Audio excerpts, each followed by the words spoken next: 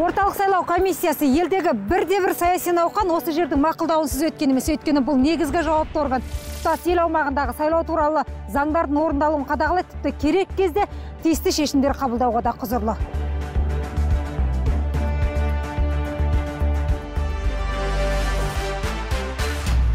Тәуелсіздік алғалы бері елде кезекті әрі кезектен тыс алпыстан аса электоралды науқан өтті.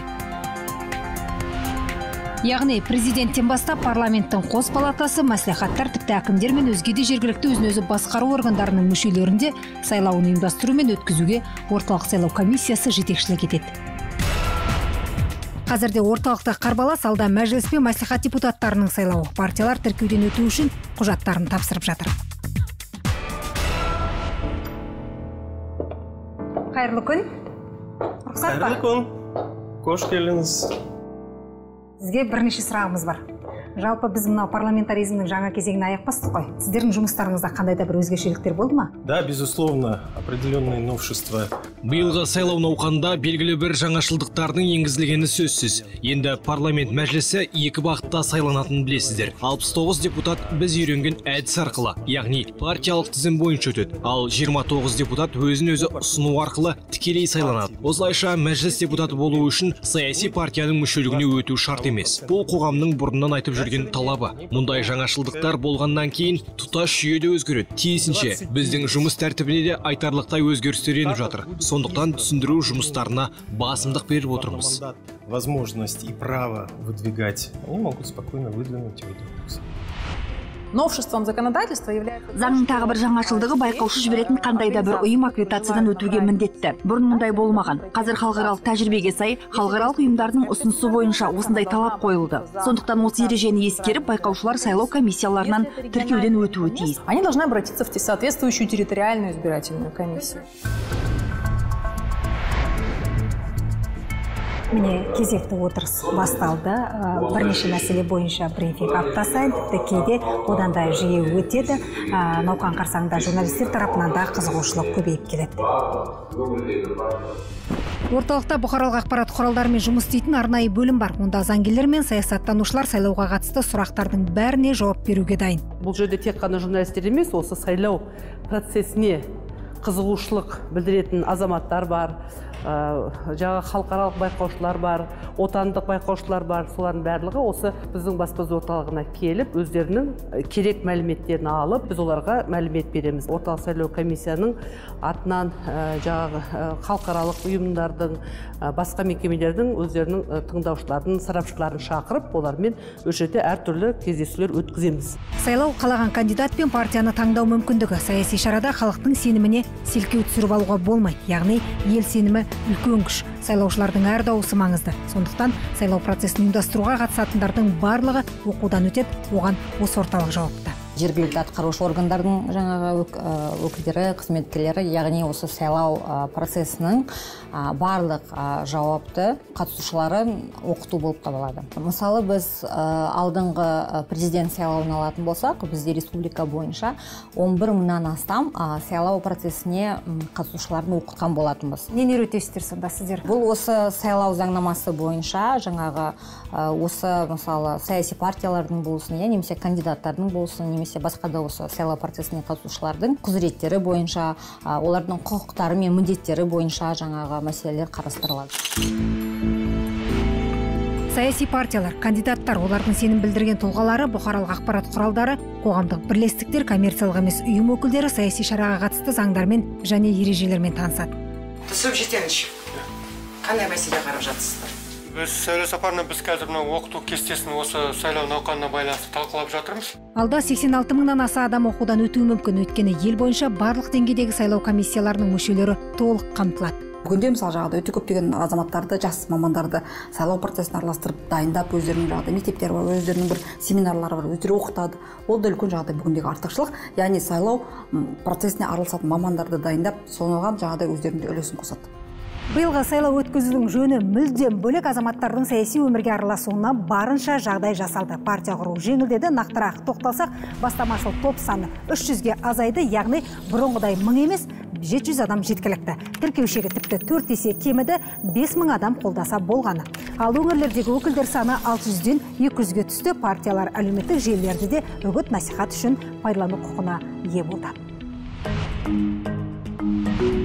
Бұрын мәжіліске депутаттар пропорционалды жүйемен ғана сайланып келсе енді бұл әдіс өзгерді. Сәйкесінше тіркеу үшін өтінім де орталық сайлау комиссиясы өзін өзі ұсынған азаматтардың да құжаттарын жеке жеке қарап жатыр.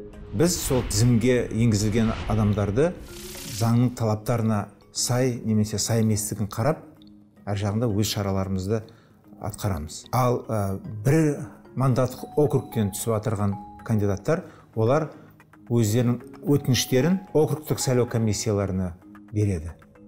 Яғни мысалы ә, қазір жиырма ә, сондай округ. Біріншіден заңның талаптарына депутаттар сай ма сай емес па? Егер бәрі құжаттары дұрыс болып ә, заң талабына сай келетін болса тіркейді. Ә, кейін ә, кандидаттар өзінің үгіттеу жұмыстарына кіріседі. Заң өзгеріс жаңа талап. Көпшілік аралас жүйені әлі жаңылыстырып жүр. Жергілікті жерде де округтік сайлау комиссияларына келіп тапсырған кезде мына мажоритарлық жүйе бойынша өзін өзін ұсынып жатқан азаматтардың тарапынан кейде түсінбеушіліктер болып жатыр. Соған байланысты біз оған өз тарапымыздан жаңағы сол округ сайлау комиссияларына құқықтық жағынан көмектесіп қалай заң шеңберінде сол мәселелерді сол туындап жатқан сұрақтарды қалай шешуге байланысты өзіміздің түсіндірмемізді беріп жатырмыз.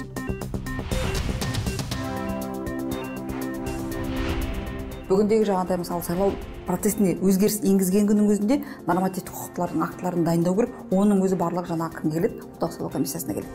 Орталық сайлау комиссиясы сонымен қатар үлкен жағы бізде ә, біздегі процессті ұйымдастырып қана қоймай сонымен қатар ол кісілер халықаралық бақылаушылар ретінде басқа мемлекеттерге барады. Яғни өздерінің біліктілігін көрсетеді. Яғни біздің қазақстанның жаңағыдай орталық сайлау комиссиясында жұмыс мамандардың қаншалықты білікті сайлау процесін қалай қадағалайды оның барлығын араласа келе өздерінің біліктілігін көрсеткен кезде қазақстанның мысалы жаңағыдай бейнесі имиджі ғой.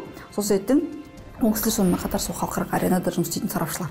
Сол себептен бүгіндегі осы екі жақты жағдай алғанда яғни ішкі жұмысын алғанда сыртқы бақылаушы ретінде алған жұмысын өте тиімді деп бағалауға болады.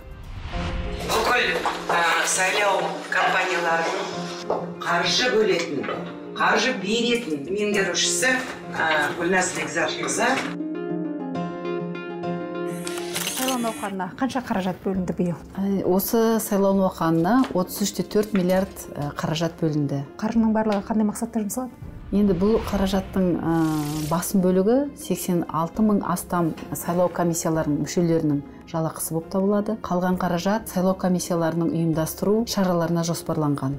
Енді нақтырақ айтсам бұл полиграфия өнімдеріне бюллетендерді әзірлеуге сайлаудың ашықтығын қамтамасыз ету үшін ақпараттық сүйемелдеуге арналған. Ал мынау кандидаттардың үгіт насихат науқанына жұмсалатын қаржы осы бөлінген бюджеттің ішіне кіре ма иә кандидаттардың да сайлау алдындағы үгіт жүргізуіне қаражат осы 33,4 миллиард қаражаттың ішінде қарастырылған. Орталық сайлау комиссиясында 44 адам жұмыс істейді. Оның жетеуі комиссия мүшесі 37-сі барлық қызметті қамтамасыз ететін аппарат. Демалыс бар ма қазір жұмыстарыңызда? Жоқ сайлау жарияланған күннен бері біз сенбісіз жексенбісіз жұмыстамыз. Себебі бізге өтініштерін кандидаттар өздері біледі қай күні өткізетінін. Сол соның ішінде сенбі күнінде келіп отырады. Өзімізде басқа жұмыстарымыз бар. Съездер басталайын деп жатыр. Съездердің де өтетін күндері кейбір партиялардың сол сенбі жексенбі келеді. Сондықтан біз қазір уақытпен санаспаймыз.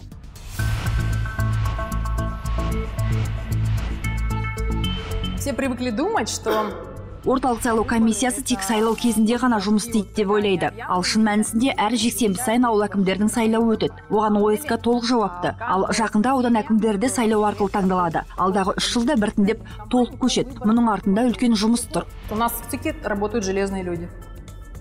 Они не отдыхают. Ал биыл қазақстан парламентаризмнің жаңа кезеңіне аяқ басты ел тарихында тұңғыш рет партиялардың қатары артып бәсекелестерге саяси сахнаға шығуға жол ашылды. Демек көп ұзамай парламенттен мүлдем жаңа тұлғалар мен саяси көзқарастары әртүрлі азаматтарды көруіміз әбден мүмкін. отыз жылдың ішінде қазақстанда әртүрлі деңгейде сайлаулар өтті. Барлық сайлаудың ұйымдастыруында оның сәтті өтуінде оның және де бұл жерде халықаралық баға береді ғой. Соның тарапынан орталық сайлау комиссиясы әрине үлкен үлкен үлкен жұмыс атқарды. Жалпы сайлау жұмысы процесі ол өте қарқынды және де бір жағынан тез өзгермелі. Не себептен? Себебі әлем өзгермеген сайын саяси процесстегі жаңағы сайлауға қойылатын талаптар да сайлаудың процесін ұйымдастыру жағынан да өте көптеген мысалы ерекшеліктер бар да. Сол себептен орталық сайлау комиссиясы мобильді өте тез өзгермелі тез модернизацияға ұшырайтын бір ұйым болу керек. Сол ұйымдарға бүгінде жаңағыдай орталық сайлау комиссиясы әрине сай келіп отыр. Сағат қазір кешкі жеті ал орталық сайлау комиссиясында жұмыс әлі аяқталған жоқ. Дәл қазір ел аумағындағы облыстық комиссия мүшелерімен видео байланыс арқылы отырыс басталып жатыр. Жиын. Сайлау науқаны аяқталғанға дейін екі ай қатарынан өтеді. Өңірлерде туындаған сұрақтарға жауап беріп саяси дүбірдің төңірегіндегі түйткілдерді талқылайды. Сонымен сыналатын да сұралатын да негізгі орган осы. Сондықтан орталық сайлау комиссиясы әр құжатты сұрыптауға ұзақ уақыт жұмсайды. Тіпті партиялар үшін саяси аламанға жолдама беретін негізгі аялдама іспетті. Жалпы осы орталық саяси науқанның өтуіне бастан аяқ жауапты.